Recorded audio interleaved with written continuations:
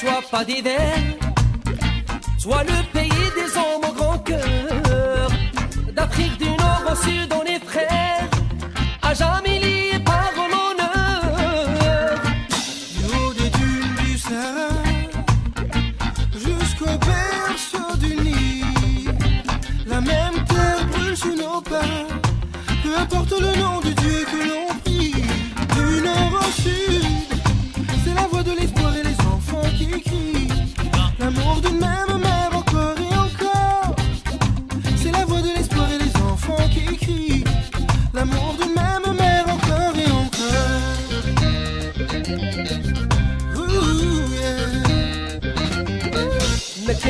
الابيض ولا السود ذاك الفن ميالوش حدود نثبت تقاليد جدود صبيان شبات وشبان Nos rires et nos larmes sont les mêmes. La même histoire les explique. C'est le vœu des anciens qu'on s'aime et qu'on lève nos voix pour Mère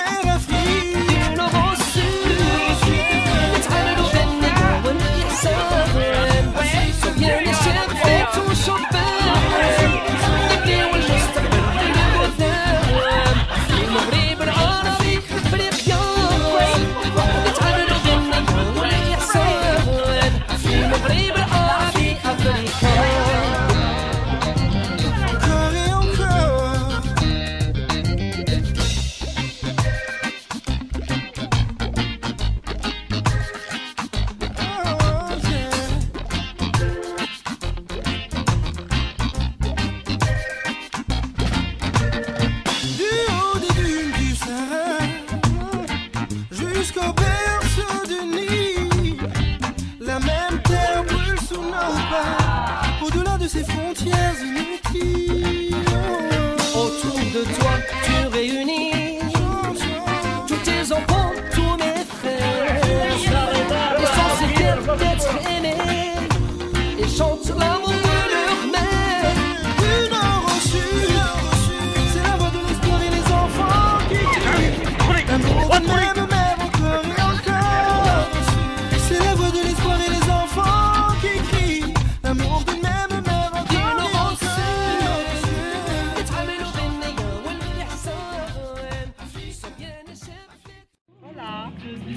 Está tudo bem, estamos aqui num sítio maravilhoso e está tudo perfeito. Muito obrigado.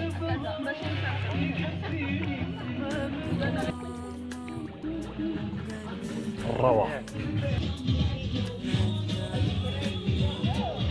طبعا ما توقعت إن الرحلة بتكون هالكثر حلوة. أول مرة أجي المغرب وأول مرة أجرب هاي الإكسبيرينس هذه كلها.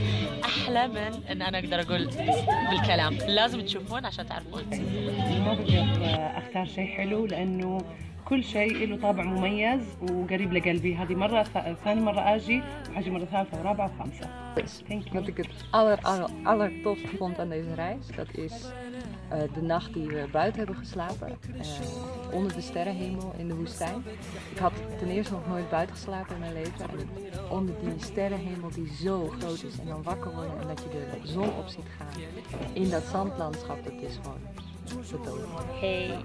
När jag kom till öknen för första gången och den känslan och uppenbarelsen var helt fantastisk. Och sen stannade vi där i ett par nätter och det var helt otroligt. Den totala atmosfären är bara gudomlig. Să dorm afară, în deșert, sub cerul liber. A fost pentru mine o experiență unică. Probabil nu o să se repete niciodată, dar pentru mine a fost fabulos. اللي كمان باهري عجبني اللي حنا غادي هكي وملال اللي حنا نزرت فوق تقليل È stata un'esperienza fantastica alla ricerca di me stessa e alla scoperta del mondo e della cultura araba.